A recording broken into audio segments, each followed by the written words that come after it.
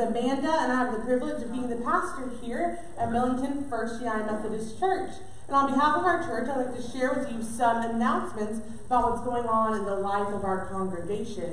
You can find these announcements and more printed in your bulletin, projected on our screen, and included on our announcement screens in the hallway to my left and your right.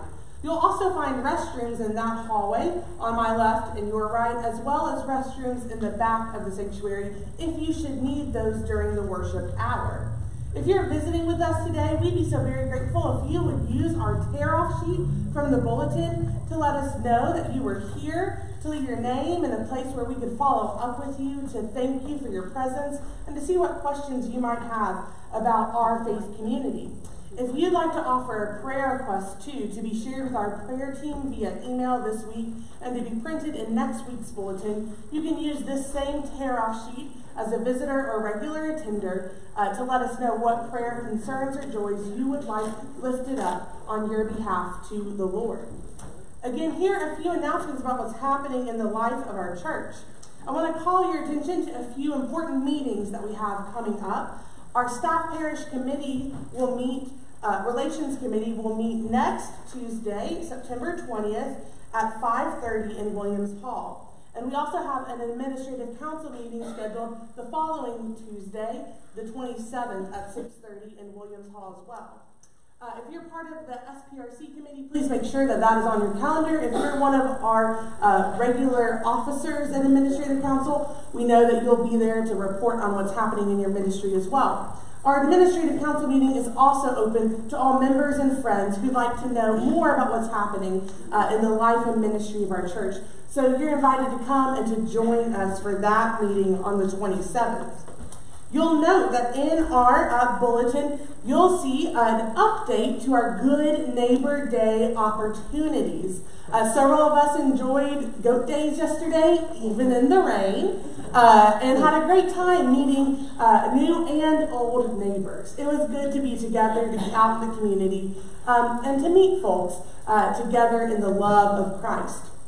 Uh, on your updated sheet, the opportunities this week are in bold, and I want to call special attention to one. On Tuesday, our church is providing the dinner for uh, the University of Memphis Wesley uh, Campus Ministry, the Wesley Foundation, uh, for their students. Uh, right now, that uh, Wesley Foundation actually serves not only the University of Memphis, but also Christian Brothers University, Rhodes College, and LeMoyne Owen College. There are connections all over the city that students make with the faith community uh, that offers love and grace in the Wesleyan tradition.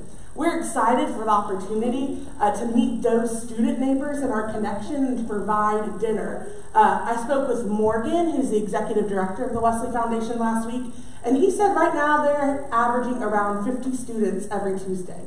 So I know that you'll want to come and meet some of the students uh, who are supported and loved because of the Methodist connection that we share. And that's a ministry that some of our connectional dollars go to fund. And so it's something that we should invest in, not only with our money, but with our time and prayer and presence. If you have the opportunity, you can come and join us at 3 o'clock this Tuesday in the Williams Hall kitchen as we cook that meal and prepare it.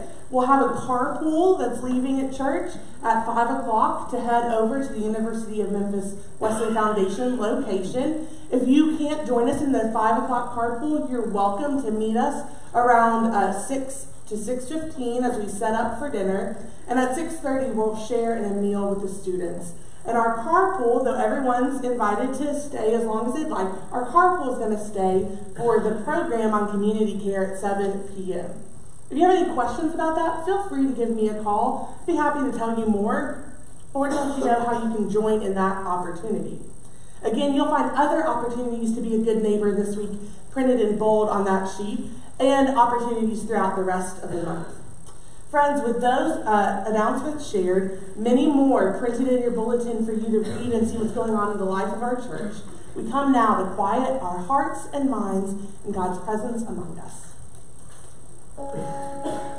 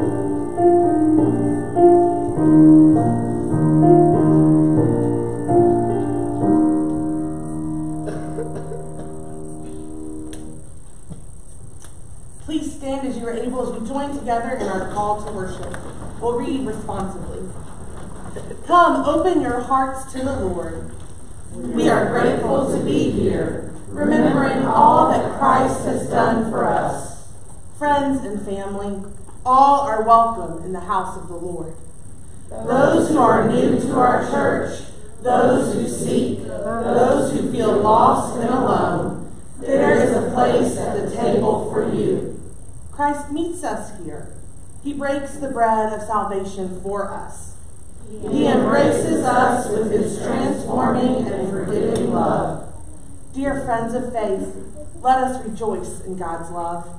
We are called to receive that love and reach out in compassion to others. Good morning, and thank you, Elizabeth, for that beautiful pre service music and our prelude this morning. Our hymn of praise this morning is I Stand Amazed in the Presence, page 371 in the United Methodist Hymnal, or the words are projected on the screen. We'll sing all five verses.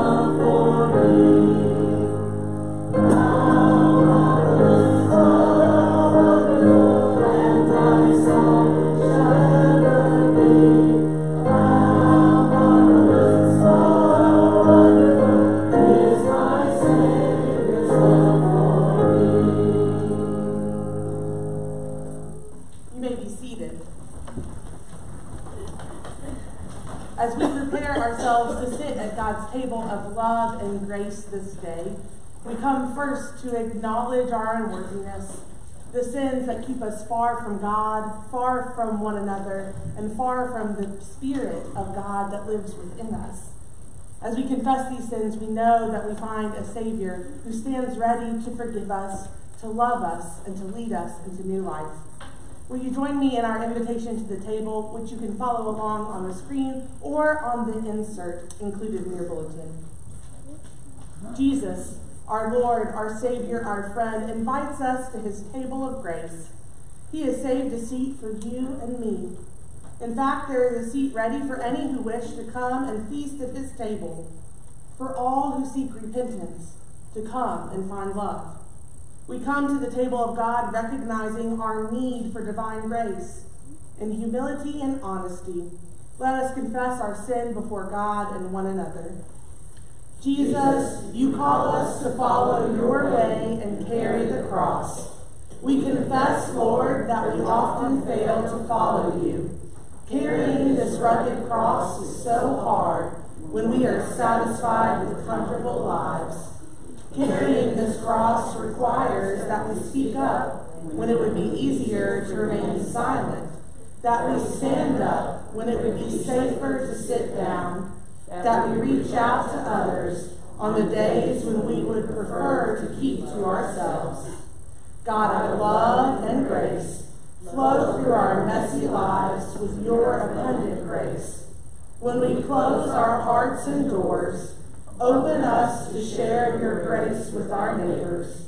When we neglect the needs of the world you love, forgive us so abundantly that we might be moved to give as abundantly as we have received. When we let pride and self interest rule our days, forgive us so miraculously that we might live with humility and selflessness through your abundant love and miraculous grace, may our world come to know your ways as we take up our cross in service to the world. This we pray through Jesus Christ our Lord. Amen. Hear the good news. Christ died for us while we were yet sinners. This proves God's steadfast love toward us. In the name of Jesus Christ, you are forgiven. In the name of Jesus Christ, you are forgiven. Glory to God. Amen. As forgiven and reconciled people, let us offer ourselves and our gifts to God as ushers come forward for our offering.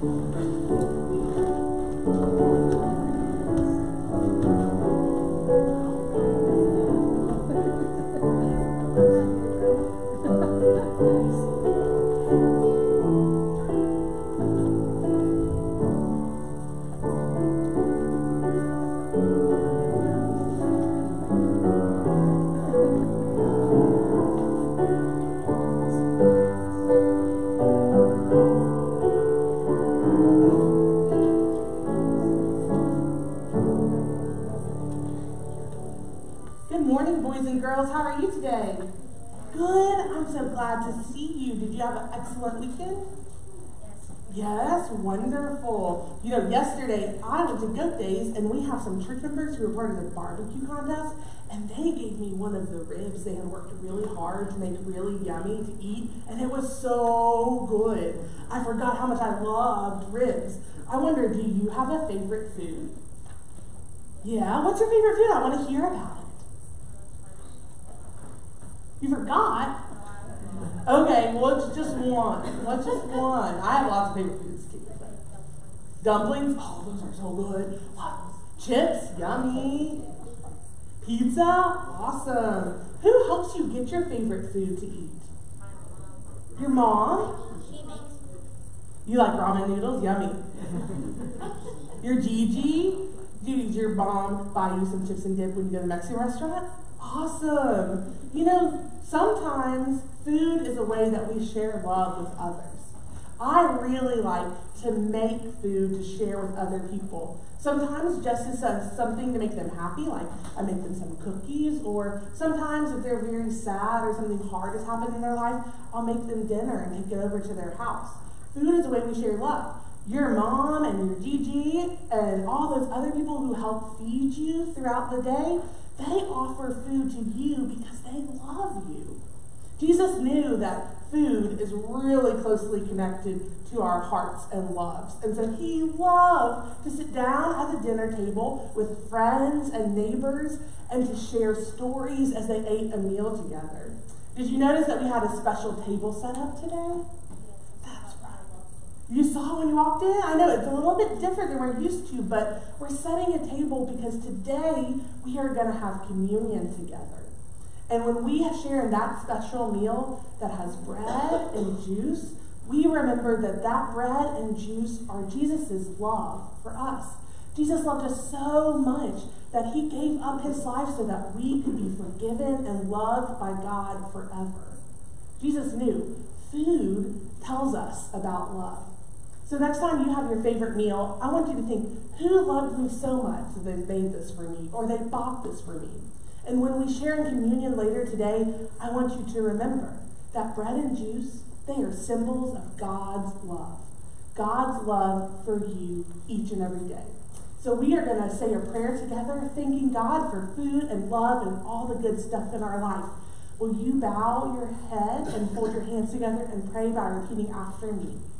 Dear God, Dear God, thank you for food, you for food, especially our favorites, especially our favorites, that fill our bellies that fill our bellies and warm our hearts. and warm our hearts. Help us remember, Help us remember, just like our favorite meal, just like our favorite meal, the meal we share here at church, The meal we share here at church, the bread and juice, the bread and juice, Jesus' body and blood, Jesus' body and blood, they are symbols of love.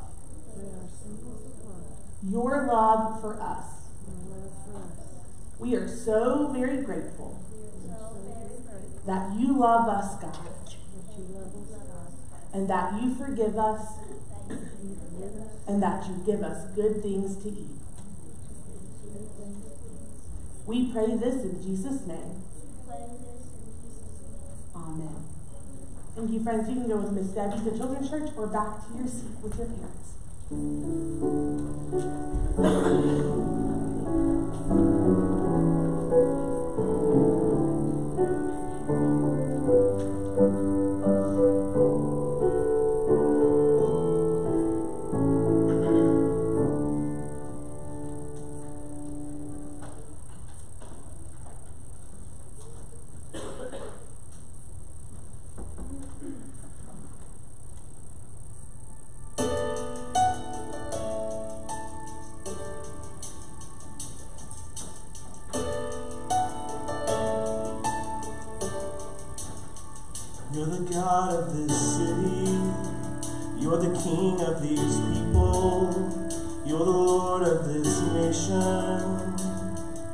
You are.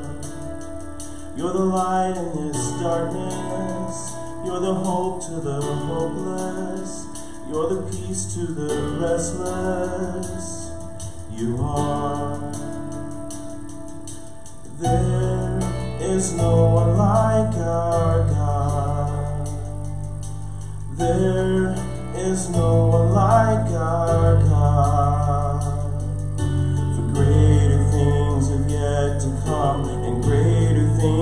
Still to be done in this city.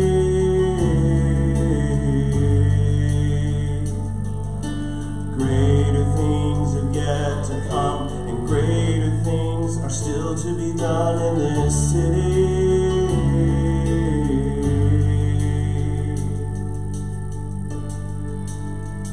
You're the God of this city. You're the King of these people. You're the Lord of this nation. You are. You're the light in this darkness. You're the hope to the hopeless. You're the peace to the restless. You are. There is no one like our God.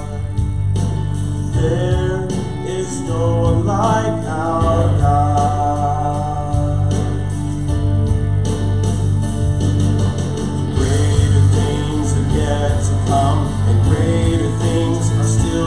Done in this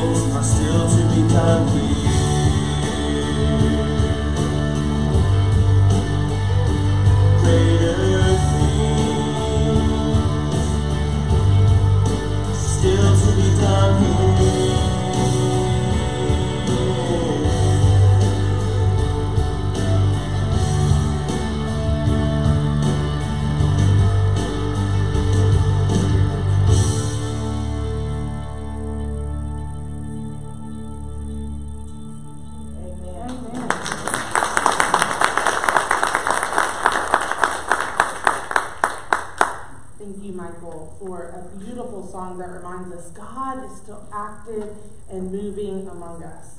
God is desiring to do greater things through our lives, through our hands, through our church, through our community.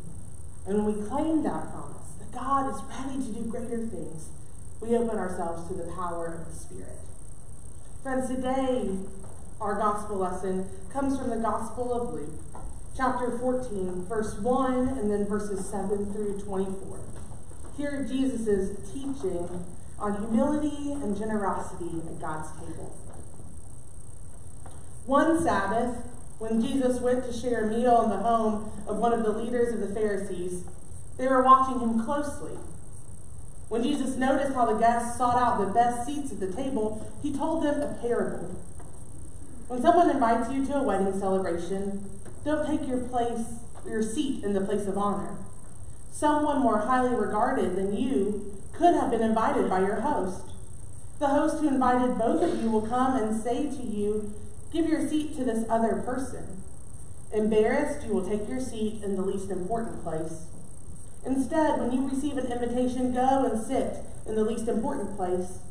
When your host approaches you, he will say, Friend, move up here to a better seat. Then you will be honored in the presence of all your fellow guests. All who lift themselves up will be brought low, and those who make themselves low will be lifted up. Then Jesus said to the person who had invited him, When you host a lunch or dinner, don't invite your friends, your brothers and sisters, your relatives, or rich neighbors. If you do, they will invite you in return, and that will be your reward. Instead, when you give a banquet, invite the poor, crippled, lame, and blind, and you will be blessed because they can't repay you. Instead, you will be repaid when the just are resurrected.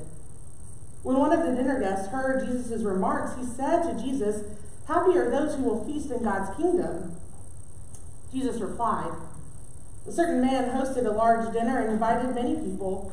When it was time for the dinner to begin, he sent his servant to tell the invited guests, Come, the dinner is now ready. One by one, they all began to make excuses. The first one told him, I bought a farm and must go see it. Please excuse me. Another said, I bought five teams of oxen and I'm going to check on them. Please excuse me. Another said, I just got married, so I can't come. When he returned, the servant reported these excuses to his master. The master of the house became angry and said to his servant, Go quickly to the city's streets, the busy ones, and the side streets, and bring the poor, crippled, blind, and lame. The servant said, Master, your instructions have been followed, and there is still room. The master said to the servant, Go to the highways and the back alleys and urge people to come in so that my house will be filled. I tell you, not one of those who were invited will taste my dinner. This is the word of God for us, the people of God. Thanks be to God. Will you join me in a moment of prayer? Will you pray with me and will you pray for me? God of grace, we give thanks that we have been invited to sit at your table. And we know, Lord, that by accepting that invitation, we have also accepted the invitation to become your servants, to go out into the highways and the byways, and to search for the people whom you desire to come and take their place in the place of honor, one you have prepared for them. God, we pray. Give us eyes to see our neighbors, not just the ones who can repay our favors of kindness and friendship, but our neighbors who are in need of your love and grace and salvation, who may never repay the invitation we offer them in the ways that we expect, but whom might be invited into your glorious love through the actions of our hands and our lives. God, we come to celebrate your grace this day. And now, by that same grace, I pray that you would draw me beneath the shadow of the cross, that what is heard today are not my words, but yours. And what is felt in all of our hearts are not our own desires, but your will, O oh God, for you are our strength and our Redeemer. Amen. It's a hard story that we turn to in the gospel lesson today because Jesus turns our social conventions on their head when it comes to throwing parties. When it comes to setting tables and inviting guests, Jesus throws a wrench into the way we usually go about that business in our lives. But perhaps we needed a hard story today because we have had a hard summer in our community, haven't we? in our city and area, there has been story after story after story of violence and hardship and injustice and fighting and hatred and racism, so much that it feels at times I can barely breathe when I wake up in the morning. I don't have to recount the stories for you. I know you've seen them on the news. And perhaps you have wept like I have these past few weeks of the kidnapping and murder of a bright, young mother who loved Jesus with her whole heart, mourning the death of Eliza Fletcher. Perhaps you were gripped in fear too as news about a citywide shooting broke out on Wednesday. Perhaps you were praying too, like I was when I knew Carol Harrison was stuck at AutoZone Park. I just wanted her to get home safely. I just wanted everyone that night to get home safely. And we had to wait for hours to know if that would be the case. Perhaps you too wondered about all the times you've been shopping at Target in the middle of the day, in the middle of the week. If you too might have been forced into another car, taken to the ATM, held at gunpoint to get money out, and prayed that you would make it back home safely to see your family. On top of all of these stories, we each have stories that touch our own lives, don't we? Stories of hardship and pain, stories of grief in our families and our friend groups. For me, yesterday, as I walked from our church booth to go see our friends who were cooking delicious barbecue, I got a phone call from a good friend tell me that a youth that I loved, that I knew as a child in Bolivar in the last few years had been caught up in gang violence and in drug dealing, and that he'd been arrested this past week and likely charged, will be charged with attempted murder. Someone I knew, who I taught Jesus' love to, was caught up in patterns of violence and hatred that are so much bigger than his own life.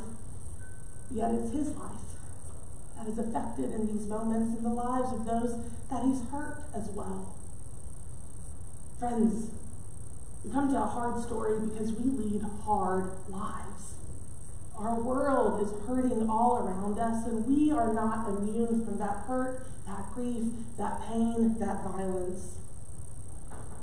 Perhaps I've been more sensitive this summer. I know growing up in Memphis, it's always had its dangers, its violence. But perhaps I've been more sensitive myself because of my good friend whose life was taken by gun violence in July. I often thought about what Autura might have said these past few weeks as it seems like we can't catch our breath in between all of the news stories that break our hearts.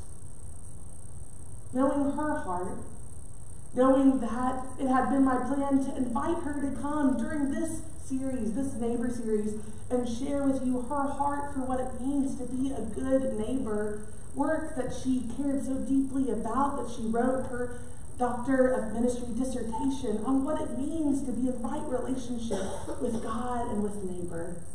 Knowing that heart of love that she carried, I imagine she might invite us to change the narrative of how we read and react to these news stories that bombard us day in and day out. Last week, we invited ourselves to change the narrative of how we talk about our own lives. On our altar still are the gifts of head, hand, and heart that we offered to God to be used in ministry. And then we challenged ourselves to go out into the world to find one new neighbor or a neighbor that we love well and learn one new story about that person's life so that the narrative of their life might be changed in our eyes. I think Autura might invite us to change the narrative of why do these terrible things happen in our community to a question of why do we have a community where we allow terrible things to happen? Why do we have a community where people feel that they must steal in order to eat? Why do we have a community where young people are not loved and mentored and supported so that they go out and find uh, to spend their time committing terrible acts, acts of violence they do not have the mental capacity to truly understand the consequences of? Autura would ask us, friends, what are we going to do as neighbors in this community to stop the hurt and pain that we see. To not distance ourselves from it. Because that is not what Jesus did. Jesus came and met hurt and pain head on. He looked into the eyes of people grieving and suffering and offered love. so perhaps we might be invited. How will we respond? What will we do as individual disciples, as this congregation, as the body of Christ in Millington and the greater Memphis area? What will we do in response to the hatred and violence we've seen this summer?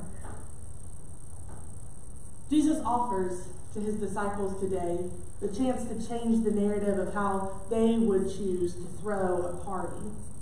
He tells this story that captures my attention about a certain man, is what he calls him, who throws a party for all his friends. And we can read between the lines because in Jesus' day, if you were throwing a party for all your friends, that means you had some money. And we know that to be true because we hear that this certain man has servants. And what we expect is that when you lay out a feast, a party, people will come. Doesn't everyone love a party and free food and free drink? Doesn't everyone love to come and have a good time? But in this story, it seems that this certain man's friends, the people he expected to accept his invitation, they're too busy. They're too distracted. It reminds me of what we talked about a few weeks when we talked about how the calendar can control our lives. These are first century examples of a calendar controlling someone's life, so much so that they don't have time to accept the invitation to their friend's party, which is really, they don't have time to accept an invitation to be part of his life, to be part of this celebration, to grow in relationship with this neighbor. And so the man who's already set a feast before him decides, well, let's not let a good party go to waste. And so he sends his servants out into the highways and byways, the busy roads and the alleyways, and says, Find anyone who will come, find those who are never invited to the party, and let them know that my house is open to them. Whenever Jesus tells a parable, we're invited to put ourselves into that parable. At times we might put ourselves into the category of the certain man throwing the party. Maybe you've thrown a party before where the people you invited didn't exactly come in the number you had hoped, and you found yourself disappointed and discouraged. Or perhaps we've found ourselves being those who received an invitation but didn't have time to accept it.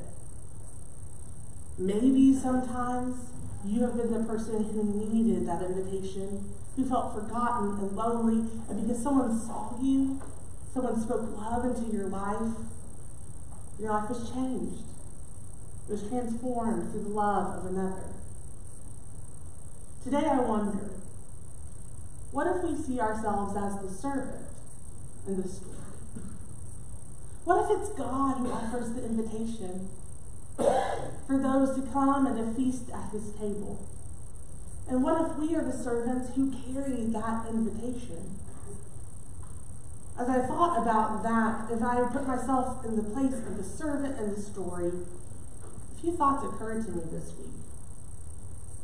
The first thought was when I think about who I want to invite to God's table, who I want to invite to be part of our church community, I confess I most often think of those peoples whose lives look like mine do. The people who are busy with farms or oxen or getting married. The people who might be too busy to accept the invitation that I offer. I confess I most often think about that because I think how easy it might be for someone who looks like me, who thinks like me, who lives a life similar to mine, how easy it would be for them to accept the invitation and for our table to not be disturbed. For us to go on and feel good that we had more people in the pews. But would we be changed by that invitation? What Jesus' story teaches me today is that as the servant, I am called not to offer the invitation only to those who look like me or think like me or lead a life similar to mine. I'm called to offer the invitation to those whom I would pass on the street and not even give a second glance to. I'm called to offer the invitation to people who lead a life so different than mine that at times I judge their life choices. I am called to offer the invitation to those who are hurting, even more greatly than I have been hurt this summer. Because it's those people, friends, whose lives will be transformed by that invitation. Now we know the people who are too busy to accept the invitation, their lives could be transformed too. So we don't stop offering it there either.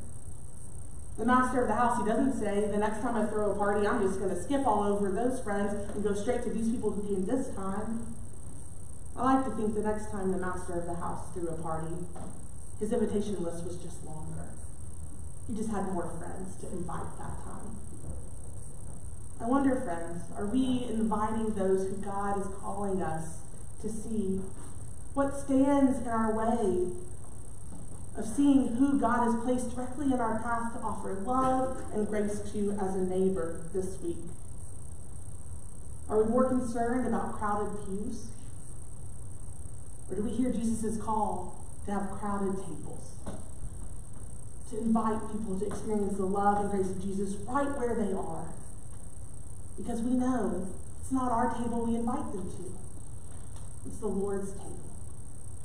That's work we do, friends, together with every other church in our community.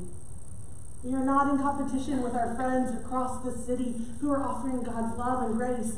We each, as unique churches and congregations, have our own gifts to offer to the community. And when we work together in partnership, amazing things can happen. This summer, our school drive supply was doubled because we invited other congregations in our neighborhood to join us in gathering school supplies. And the 901 church, our neighbors just down the road, took us up on that offer, and both our congregation and theirs collected about the same amount of materials. Who loses in that equation? No one. But who wins? The community the children, our teachers, our schools. Very soon, our food pantry will go back to operating two days a week because our neighbors at St. William's have heard the cry of the hungry in our community and they know that our food pantry is overloaded on Tuesdays. You can ask Sammy. I bet she can't remember a Tuesday where there was an empty appointment. In fact, what she'll tell you is about all the Tuesdays they took on more people than they really had time to to make sure that no one in our community would go hungry that day.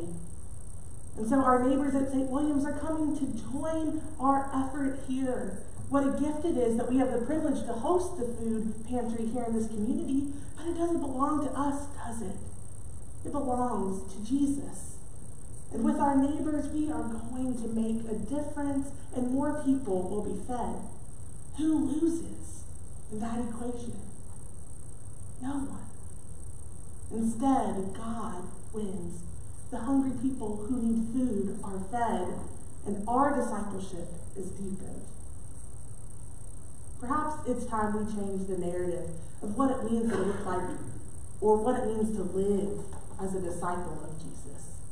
That it looks like so much more than just coming to Sunday morning worship. Friends, I know you know that because I see you in the community. I see you impacting the lives of your neighbors with your love and friendship.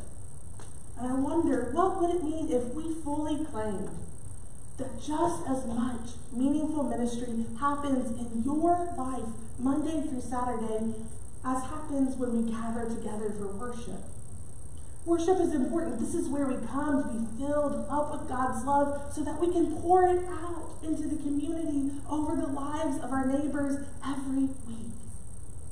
We're invited to see the difference God makes in our life so that we can point out to others where God's love is meeting them in their hardship and grief and pain, in their loneliness, and in their wondering if life really means anything at all.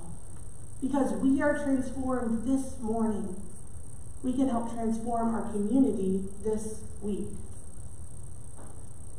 When I was at a meeting this past Thursday, during our devotion, one of the pastors gathered among us, Lenore, mentioned about an article she had read in a magazine once. She was sitting at the dentist's office waiting uh, and biding her time, and so she read in this magazine the results of a poll that they had put in several issues before. The question that this magazine had asked its readers was what word or phrase do you long to hear? I wonder, friends, what's your guess? What do you think the number one response was? A word or phrase you long to hear? I love you. Exactly right. Our world is hungry to hear the words, I love you. Any guesses on the second phrase? I thought it was thank you too, Missy. it was I forgive you. Our world is hungry for forgiveness. And the third phrase. Any guesses? Good job would be nice, wouldn't it? now, the third phrase people long to hear, friends, is that supper's ready.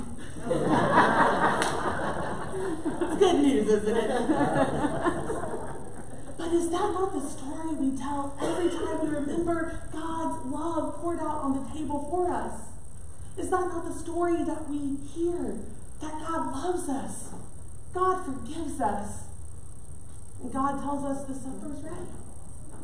All we need to do is accept the invitation to come and feast.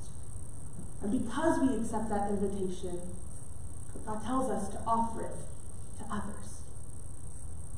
This is an invitation that comes with work. But the best ones do. The best ones come with relationship and love and meaning for our lives. So, friends, hear God's words today. I love you. I forgive you. Supper's ready. Hear those words, hold them in your heart, and carry them into a world that is hungry for that love and forgiveness, an invitation to come and to sit at the table of grace. Linda, the Spirit got into me, so we're going to skip the video. I had planned it'll come back another time. I promised y'all that. And what is before. So we're, yeah, there we go. what you'll hear as the uh, ushers invite you to come forward in a few moments for communion after we celebrate the great Thanksgiving together will be this song by the High Highwomen, Crowded Table.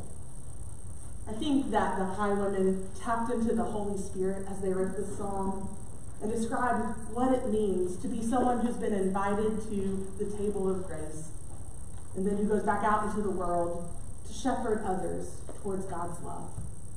So, as we remember this precious story where we are loved, forgiven, and welcomed at God's table, may we remember too we are called to build our own crowded tables in our homes, in our neighborhoods, in our churches.